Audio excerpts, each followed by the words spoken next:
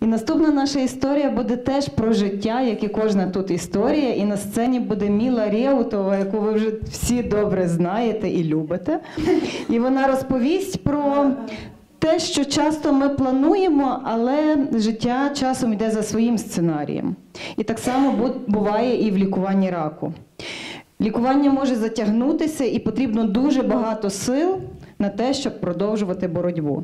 Міла розповість, як не боятися рецидиву і не вигоріти впродовж тривалого лікування. Міла Реутова. Да, мы уже знакомы, спасибо вам. Э, Следующая тема, о которой я с вами буду говорить, это как не бояться рецидива и не перегореть в течение длительного лечения. Это мой личный опыт, как я с этим справилась. Почему я говорю об этом? Ну, уже говорили. У меня э, рак третьей Б стадии неоперабельный. Э, То есть это, по сути, паллиативное лечение, которое может вывести в стабилизацию, ну, и там, условную какую-то ремиссию. У меня метастатическая болезнь, у меня были метастазы в печени, потом пошли метастазы на фоне лечения в легкие. Это затянуло мое лечение. Э, Вот, и э, Потом у меня была таргетная терапия. Все это продолжалось 20 месяцев. Поверьте, 20 месяцев – это почти 2 года просто лечения. Это очень тяжело. И, э, естественно, у меня были какие-то срывы, были какие-то э, страхи. Вот. Ну, сейчас я стою перед вами, улыбаюсь. Я живая и счастливая, потому что 17 месяцев у меня моя болезнь стабилизирована, мой дракон так называемый спит. А, Вот. И вообще таких, как я, называют метавайверс. Люди, выжившие с метастатическим раком. Э, Как не бояться рецидива? Никак. Реально, никак. Этот страх сильнее нас. Я не знаю, знакомо вам вот это ощущение, когда вы просыпаетесь ночью, просто там попить воды или сходить в туалет, и первая мысль, которая приходит в голову, боже, неужели я умру? И все. Этот страх парализует, до утра уснуть невозможно, э, и мысли крутятся все время только вокруг этого. Я вам скажу, это вполне нормально бояться смерти. Это базовый инстинкт самосохранения любого человека. Точно так же вполне нормально бояться рецидива, бояться еще раз пройти вот этот путь лечения, все вот эти трудности, связанные с этим. Особенно, когда приходится собирать деньги на это лечение. Поэтому э, что можно сделать в этой ситуации? Убежать от этого страха невозможно, потому что он внутри нас. Бороться с ним бессмысленно. Он сильнее, можно только потратить свои силы не туда. Э, Вот. Поэтому подружиться и научиться с ним жить. Э, Первое – это принять тот факт, что может случиться ухудшение или рецидив. Ну, эту схемку я вам уже сегодня показывала. Э, Реально она работает. Э, Работает во всех случаях. Э, И принять, запомните, принять – это не значит покориться, сложить руки и перестать жить. Наоборот, все вот эти первые стадии, отрицание, гнев, торг, депрессия, они забирают ваши силы и энергию. И только принятие дает вам спокойствие, силы, энергию и какую-то радость жизни, возможность жить. Понять, э, значит, э, сделать свой страх своим союзником. Как я уже говорила, страх рецидива, э, страх смерти это инстинкт самосохранения. Просто разберитесь, чего на самом деле вы в этой ситуации боитесь. Неизвестности. Но э, в плане смерти известно две вещи. Сто процентов. Это мы все умрем, и когда это произойдет, никто не знает. Даже имея метастатический рак, можно прожить очень-очень долго. Вопрос только в том, как прожить. Все время трясясь от этого страха, я умру или у меня случится рецидив, или наслаждаясь тем временем, которое у тебя есть. Э, Чего мы еще боимся? Болезненного ухода. Я лично боюсь этого, да. Э, Вот. Но сейчас есть медикаменты, есть медицинский персонал, есть э, хосписы какие-то. Вот. Этот вопрос решается. Как его решила для себя я? Э, У нас э, есть онкоцентр на Верховинном, на Верховинной, при нем есть хоспис. Я сходила в этот хоспис. познакомилась с главврачом, посмотрела, как там все устроено, узнала, как туда люди попадают. И главное, э, я узнала вот этот момент, когда пора. Вот, потому что есть наступает момент, когда еще можно бороться и нужно бороться. И момент, когда лучше просто прожить счастливо свои какие-то последние дни. Э, для меня этот вопрос снялся. Я перестала об этом беспокоиться, я об этом больше не думаю, и меня это не волнует. Еще один страх. Страх забвения может быть. Э, некоторые люди при, привыкли контролировать все в своей жизни, и они очень сильно переживают, испытывают чувство вины по отношению к своим близким родственникам, как они их оставят и без своей заботы. Ну тогда надо позаботиться о них сейчас, о их будущем, о их самостоятельности, научить их э, жить. Это то, что можем мы сделать сейчас. Либо второй страх э, – это то, что о нас забудут. Вот. Тогда опять-таки об этом нужно позаботиться сейчас. Оставить после себя что-то хорошее, что-то важное. Это просто подарить своим близким как можно больше любви и заботы. Это там, посадить дерево, развести цветы, э, там, научить кого-то чему-то, помочь кому-то из своих близких осуществить свою мечту. Э, это то, что останется после нас. И э, предлагаю рассматривать свой страх как инстинкт самосохранения. В каком плане? Заботьтесь о своем теле, чтобы оно было здоровым и сильным. Такое тело само лучше сопротивляется болезни. Э, заботьтесь о своих органах, о их здоровье, чтобы они вас не подвели в ответственный момент какой-то. Заботьтесь о том, какую жизнь вы живете, какие эмоции вы испытываете. Э, люди позитивные, счастливые, они дольше живут и счастливее живут на самом деле. И просто пускай этот страх, э, вы примиритесь с ним, просто пускай он держит вас в тонусе и не дает вам расслабляться. Еще моя любимая техника – смещать фокус зрения. Это очень интересно. Любую ситуацию можно рассматривать под двумя углами. Нету плохих и хороших жизненных ситуаций. Есть наши отношения к ним, как мы их воспринимаем. Э, просто тренируйтесь смещать этот угол зрения. Ну, например, болезнь. Сама по себе это плохо. Здесь нет ничего хорошего. Если мы сместим угол зрения, э, что мы получаем? Да, я заболела, но я же не умерла. Я могу прожить достаточно долго. Вопрос в том, как беспокоясь о смерти или радуясь жизни. Это уже выбор самого человека. Там, например, в, в какой-то профессиональной деятельности, вот в общении, что самое близкое, что случается с нами каждый день. Э, кто-то вас упрекает, да, ты ни в чем не разбираешься, ты не профессионал. Конечно, можно расстроиться, там, упасть в депрессию. Можно использовать это для себя, изучить этот вопрос и стать профи. Точно так же в общении. Вас в чем-то упрекают, вам вызывают там какое-то чувство вины, опять-таки, можно расплакаться, там, закрыться от всего мира, от всех людей. Это могут понять люди, которые вот собирают деньги, им начинают писать разные люди, разные плохие вещи. Вот. А можно сместить фокус зрения и понять, что кто-то вас просто использует, вам манипулирует. Поймите эти взаимодействия, и вы будете видеть таких людей, понимать такие ситуации, научитесь это э, нейтрализовать. Вообще это очень полезная качество. И это может превратиться вот по жизни в такую увлекательную игру. Каждую ситуацию рассматривать не с негативной стороны, а с позитивной. Ой.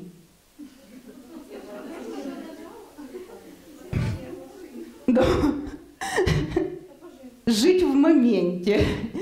Э, это вообще фразы из буддийской книги. Когда-то это для меня что-то было непонятное, сейчас это стало как бы смыслом моей жизни. А, вот. Просто э, лечение, особенно длинное лечение, оно настолько забирает много сил, что какие-то элементарные вещи, там, приготовить кушать, сделать уборку, э, собрать себя в кучу, привести в порядок и выехать куда-то встретиться с подругами, э, к этому нужно прилагать определенные силы. И это становится, извините, маленьким подвигом. Вот. И э, я научилась любить эти вещи – эти вещи, которые мне даются с таким трудом, они стали для меня иметь какую-то особую ценность. И я стала получать от этого удовольствие. От банальных вещей, готовка еды, ужин с семьей, встречи с подругами. Это действительно, это очень замечательно, это делает нашу жизнь счастливой. Поэтому радуйтесь тому, что у вас, есть уже сейчас, и не печалитесь о том, что на данный момент для вас недостижимо. Не строить долгосрочных планов – очень хорошая практика. Не нужно строить что-то такое, что даже для нормального человека э, недостижимо. Стройте планы на вот эти три месяца до следующего контроля или на этот 21 день до следующей химии. Э, такие планы, которые вообще вполне реально осуществить, и когда они осуществляются, вы получаете э, чувство удовлетворения и радости. Э, доверять. Ну, бывают такие ситуации, на которые мы повлиять никак не можем. Это когда идет ухудшение. Это когда идет прогрессия заболевания. Когда э, тело устает, у вас плохие анализы. Э, можно, конечно, опять-таки расстроиться, а можно просто довериться. Довериться высшим силам, тем, которые вот в вашей вере, во что вы верите. Пускай ваша судьба будет в их руках. Потому что все равно вы на эту ситуацию повлиять не можете. Ну, делай, что должен, и будь, что будет. Э, использовать все шансы. Э, в этих ситуациях нам очень тяжело. Нам кажется, что весь мир от нас вернулся, и вообще какое-то э, вот тотальное одиночество. А вы подумайте, сколько в этот момент во всем мире таких же людей, как вы, у которых вот такая же безысходная тяжелая ситуация. Сотни, тысячи, мне кажется, миллионы. И что, неужели все прямо опустили руки и поехали в хоспис? Нет. Если есть хотя бы один шанс из ста, его нужно использовать. И в этом случае очень сильно помогает общение с такими же людьми, как вы. Никто другой не поймет вас так, как они. Протягивайте руку к тем, кто уже прошел этот путь, и протягивайте руку помощи тем, кто только его начинает. Искать позитивные примеры. К сожалению, таких примеров очень-очень мало. Мы чаще видим в том же Фейсбуке, когда там кто-то собирает на лечение, э, проходит какой-то путь, а потом через какое-то время мы, к сожалению, видим, как с ним все прощаются и соболезнуют о его уходе. И таких примеров мы видим гораздо больше. Людей же, у которых лечение оказалось успешным, и болезнь стабилизировали или победили вообще, мы практически не видим. Они уходят в тишину. Кто-то боится сглазить, кто-то боится наврочить, э, кто-то вообще просто хочет все это забыть и не вспоминать. И они о себе не рассказывают. А для нас, тех, кто этот путь проходит, эти примеры очень важны. Меня они очень сильно вдохновляли. Я специально искала таких людей, которые живут третьей, с четвертой стадии рака. Я читала их истории, с некоторыми я знакомилась и общалась лично. И меня это очень сильно вдохновляло. Э, мой совет – не дайте страху испортить вашу жизнь. Вдохновляйтесь примерами других людей. И э, то, что мы делаем сейчас, это то же самое. Мы рассказываем о том, об этом позитивном опыте, чтобы другие тоже вдохновлялись. Вторая часть – это как не перегореть в течение вот этого длительного лечения. Э, знакомы ли вам вот эти чувства? Как же я устала, у меня ничего не получается, надоело лечение, оно не помогает, брошу все, буду доживать, сколько Бог отпустит. Вот. Периодически эти мысли, наверное, приходят всем. Почему? Потому что лечение онкологии процесс очень утомительный и часто очень длинный и требует очень большой концентрации сил и энергии. И невозможно такое долгое время находиться в вот этом состоянии этой концентрации. И это нормально, ваше состояние будет как американские горки, вверх-вниз, вверх-вниз. Просто нужно знать, что за э, вот этим периодом спада обязательно должен наступить период подъема. И если он не наступает сам, тебе нужно помогать. Да, вот, это то, о чем я говорила, что это как э, каждый раз э, мы проходим какие-то этапы. Например, там, пройти обследование, э, принять диагноз самим, рассказать об этом своим близким. Потом кто-то проходит операцию, реабилитацию, кто-то химию, лучевую терапию, полная реабилитация и возвращение к нормальной жизни в социум. Вот каждый этот этап – это очень затратный этап по энергии, по силам, И э, каждый раз нам приходится прикладывать очень много усилий. Это как вот этот сизифов труд, который э, женщина несет всю свою жизнь. И это может затянуться на месяцы и даже годы. Как с этим справиться? Нужно просто наполнять свою жизнь и беречь свои силы. Что нужно делать? Как себя поддерживать и вытягивать из вот этой ямы? Это делать все, что делает нас счастливым. У каждого человека есть какие-то вещи, которые его радуют, которые его наполняют радостью и энергией. Вы знаете про себя это, делайте это для себя. Э, Стать автором своей жизни. Э, Мои слайды некоторые повторяются. Это не потому, что мне нечего сказать, это потому что эти вещи я считаю очень важными, и мне хочется на них акцентировать внимание еще раз. Э, Жертва это человек, который перекладывает ответственность на других. Он ничего не решает. Жизнь с ним случается. И он э, все время чем-то недоволен. Он ждет, что кто-то придет и его спасет, а никто не приходит и не спасает. И у него все вокруг виноваты. Автор жизни, он сам несет ответственность за свою жизнь, сам принимает решения, и он сам выбирает, чем наполнить ту жизнь, которая у него есть. Э, Избавиться от ложных ожиданий от других людей. Это очень много, вот, не знаю, забирает энергии и сил, когда мы чего-то ждем от людей, а они этого не делают. Но мы не можем никого заставить делать то, что мы хотим. То, что мы можем сделать, рассказать. Моя ситуация такая-то, мне бы нужна вот такая-такая помощь, и если ты что-то из этого сможешь делать, я буду тебе очень благодарна. Тот, кто ничего не ждет, его не постигают разочарования. Повторюсь, избавиться от ложных убеждений и самокопаний. Это абсолютно деструктивные чувства. Они только забирают силы и энергии. Они не дают никакой пользы человеку. Просто безжалостно избавляйтесь от этого. Э, Еще предлагаю избавиться от расхитителей энергии. Есть люди, которые живут энергией скандала. Э, Каждое общение с ним, э, с такими людьми почему-то превращается сначала в спор, в дискуссию, а потом в ссору и даже в скандал. И мы при этом теряем массу энергии. И это ни к чему хорошему не приводит. Это люди, расхитители нашего времени и нашей энергии. Старайтесь таких людей исключать из своей жизни. Или, если это невозможно совсем, сводите общение к минимуму. Берегите себя.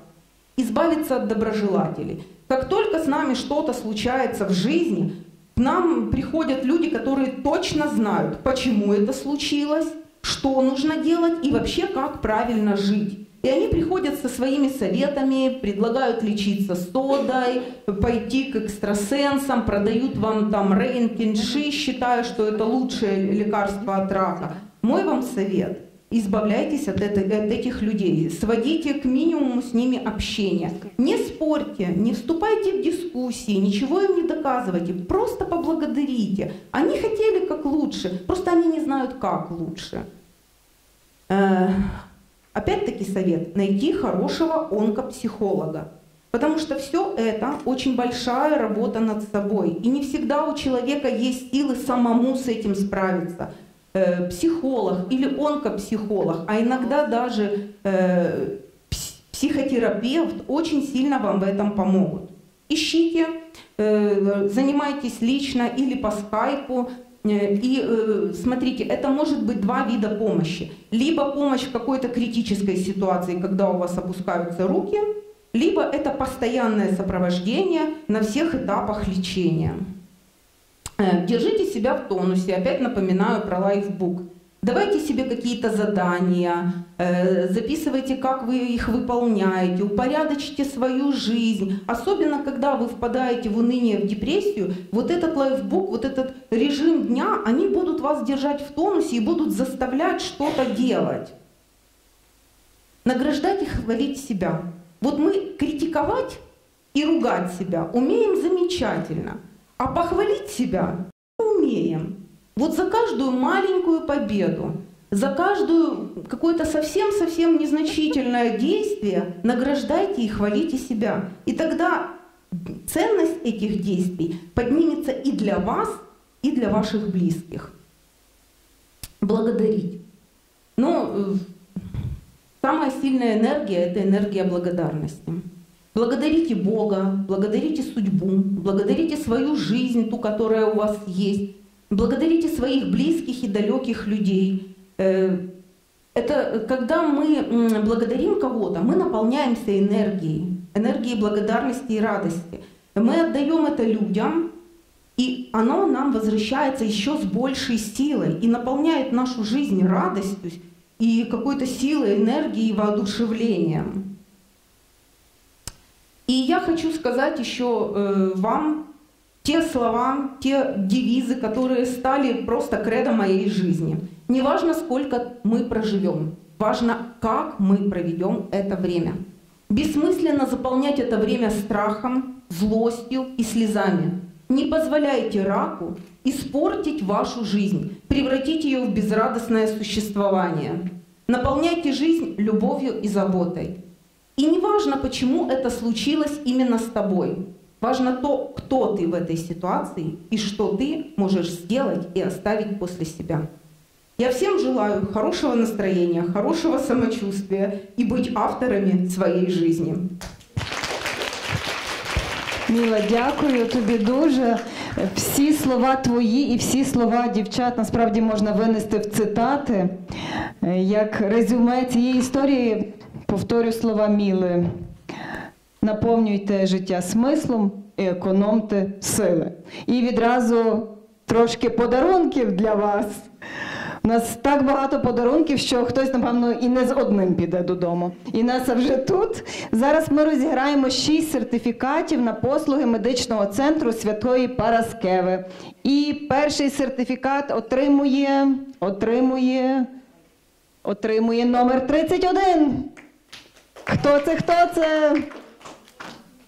Добре, тягнемо наступний, і це буде 23. Раз, тягнемо на сто. О, аплодисментами вітаємо. І наступний номер в нас є номер 30. От, є 30 номер. Давайте плескати бадьоріше. Хто добре плескає, той зараз подарунок. Дев'ятий. Дев'ятий номер. О, гарно плескало. Наступний номер 22.